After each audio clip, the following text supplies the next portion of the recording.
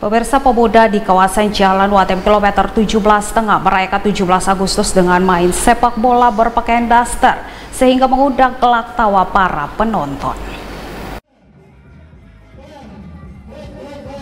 Berbagai cara meriahkan HUT RI ke-77 kalangan masyarakat dengan unik seperti yang terlihat di kalangan masyarakat kilometer 17 setengah, Kelurahan Kelaurung, Distrik Kelablim yang menamakan diri keluarga ALP 17.